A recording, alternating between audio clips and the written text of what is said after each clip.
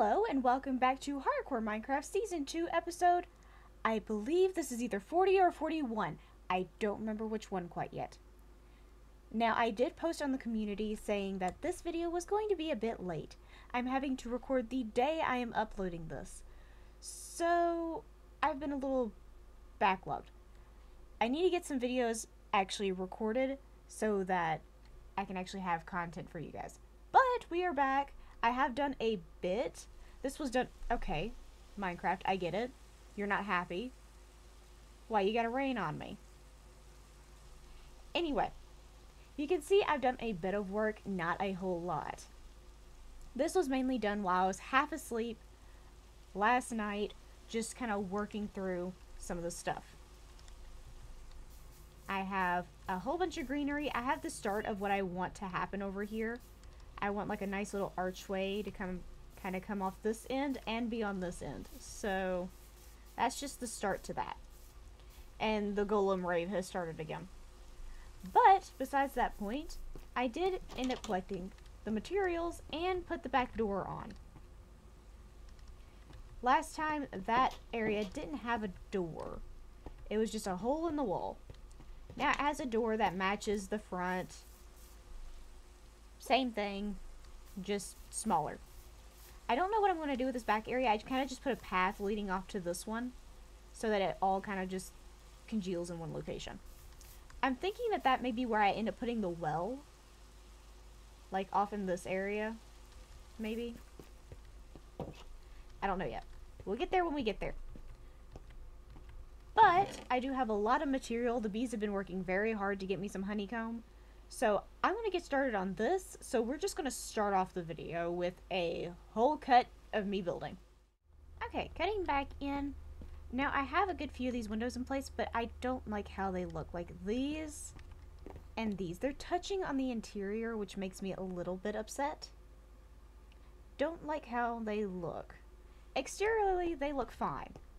I like how they look on the exterior. Like, take this one for example. It doesn't even look like they're even remotely close to one another. But due to me having to do the double layering, they're touching one another on the interior, and it's kind of irking me. Granted, this building isn't being built for its interior. It's literally just going to house a few librarians so they can get the heck out of my hair. But it's also just... Mm, I'm gonna have to hide those whenever I go to decorate. Okay, I'm back with an update. We have the staircase in. I still have to do the decoration and kind of like the support system of it. But this is the staircase. Bottom floor is completely done just like you saw earlier. And I've started figuring out the top floor. I've redone this hallway a bit. And now fully goes into here, no issues. And I played with the idea of possibly having something in here but this space is so tiny that I think I'm just going to hide a doorway into this and have it just like a hidden type of room. It's not going to actually be something useful. But right now I'm just keeping it lit for scaffolding reasons because I still have to get the diorite and calcite up here. Speaking of which, I have to go grab all of that and see how much of this I can actually get done. Now, while I was working on just getting the materials together for being up here, um, I did something else down here. I felt like there was way too much spruce planks, so I did throw in a bit more spruce, strip spruce logs. So same color, different texture down here. Now these areas are going to have bookshelves on them eventually. So there's going to be some bookshelves out here framing this area. So there's going to be a lot more stuff going on down here and a lot more different colors, but for the time being, I felt like that helped out a lot. Now, to see how far this gets Okay, me. just to make things a bit more interesting, these are door frames for context. This one and that one. But, since I'm going to make this a floor of its own, yes, there's going to be a whole nother staircase, probably on this side, going up one more floor, so that I can have the nice, big, pretty windows up top, and still keep some semblance of staircase to these rooms here, which I have finished out. There's like a storage room here and then another room here. And then of course this room I showed off earlier. So since I want to keep access to those rooms, I think I'm going to put one floor here, which is going to be topped off at this point.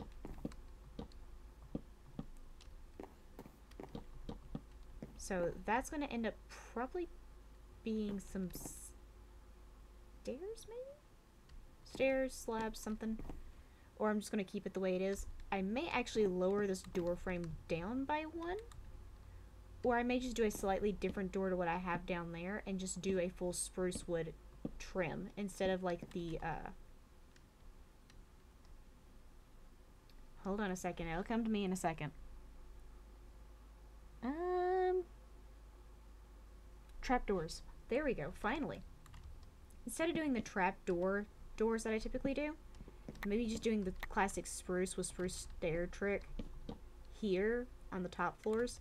Since they're not going to be seen as much as the bottom floor ones, maybe just doing this trick will help. I don't know, but I'll come back. I am running out of calcite though, which means I may not get completely done with the library. I'm to get most of the way done. Like the bottom floor, completely done, completely functional. Uh, this floor could be functional here in a second after I get this wall in and this wall in. And then do the interior, and then this floor is functional. I just have to get there. So for sure, this is going to at least be 95% done. Okay, second floor with third floor staircases are in. I did put a little bit of a railing here. I took care of the calcite you could see through here. Doors are all in place. I don't know quite how I want to do these balconies yet. Look how nice that pink sky is. But I don't know quite how I want to do these balconies yet, so I'm just going to leave them as they are, just these little markers for the time being. So I can kind of figure out what the heck I'm going to do with them. Because I didn't even know they were going to be here until now. Oh, look, a nice little skeleton. But yeah. I don't know quite how I'm going to get them to work just yet. I'll get there when I get there.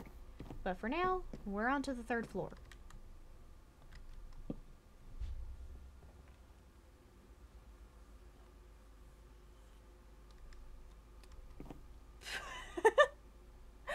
There's a skeleton over there being chased by a wolf. He's still going.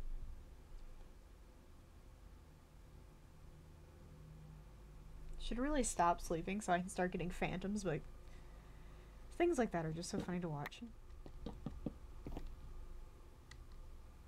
Oh no, the zombie saw me. It's gonna bust down my doors. Ah! Okay, and there we go. Top floor is in. I did raise this floor up by one, so we do have a bit more space down here, and I did put a little bit more supports on this pillar. Could probably actually do that on always. And there we go.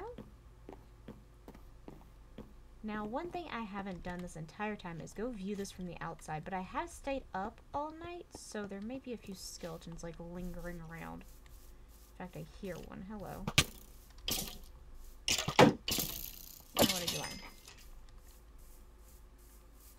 Okay, I like it from this end.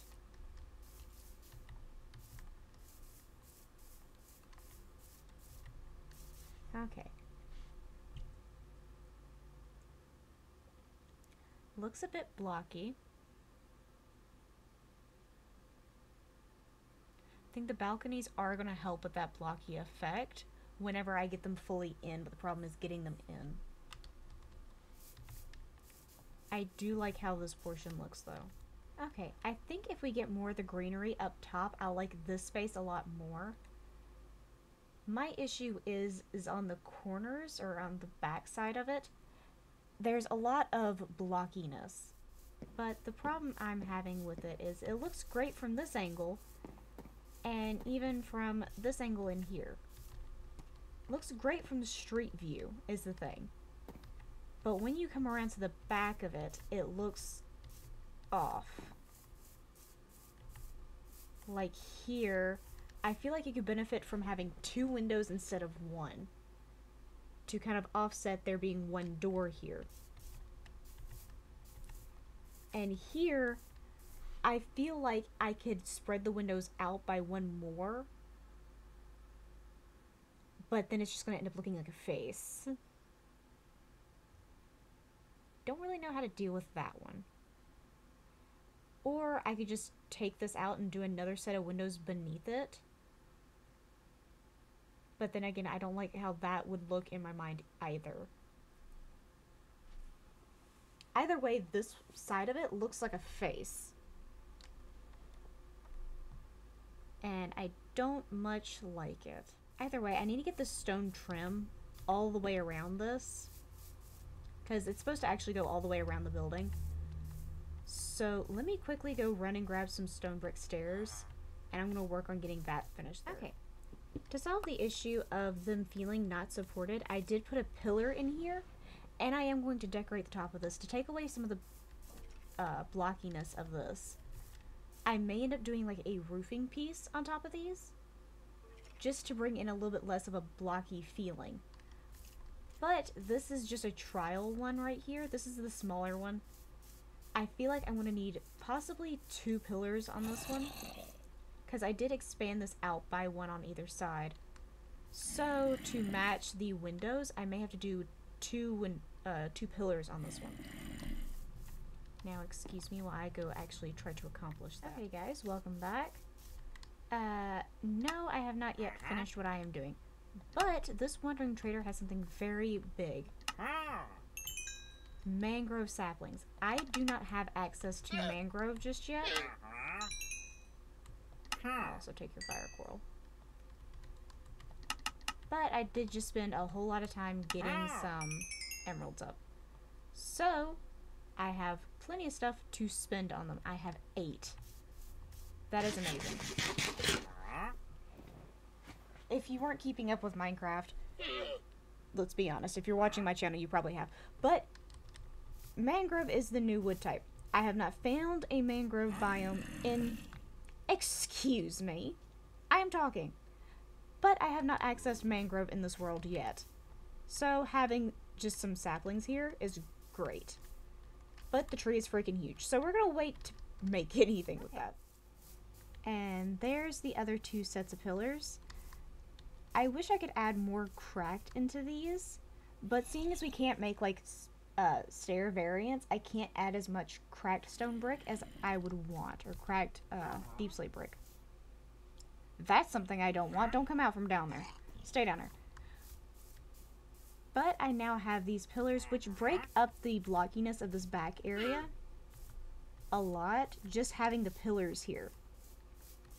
Now I'm hoping that the roof pieces can do that for up there as well. Also, an update. This cactus farm is working. It's just working exceedingly slowly. When I came down here to actually just sit down here while I was just eating my food and just waiting for something to happen, I found out that a lot of the cactus that spawns here destroys itself on the cactus below it. So I'm not going to get as much cactus from here, not like I'm going to need a whole lot, but it is producing, which is a great thing. Okay, that definitely removes the blocky look that I had before. I'm to go grab somebody from my house and get like a second opinion on this. But so far, I think the roofing and stuff helps. I may end up changing those to be diorite. But for the time being, I really feel like this helps a lot. Okay, upon getting a second opinion, essentially all I was told was add greenery and it will start to look right. Essentially, the very much Sims livelihood of if you don't like it, put a tree in front of it. That That's the stuff that I got as an opinion. So, whenever I come back to add greenery, I'll probably like this a lot more. But for the time being, I'm going to leave this as it is because the building itself is complete. After I put these few little touches in. But the building itself is complete, which I'm happy with. It's been a long time coming because this build has been going on for a while. Next big build that needs to get finished is the dang tree, and I'm deeply regretting ever starting it. But, this is now up. Now, all I have to do is get the decor inside. I can finally remove all the stuff from the interior of this place. But I think I want to run and put it, these leaves I have just sitting in here. I think I want to run and put some out there. Just to kind of like show you guys what I mean by greenery. You see how I have all this stuff kind of growing up through here? That's going to go all the way around the building. I'm not going to do this one because the Wandering Trader seems to have claimed that one. But I do plan on adding leaves and things to this entire thing. Like back here is going to be filled with just leaves. And it's going to go up the building back here and stuff like that. All of this is going to be greenified.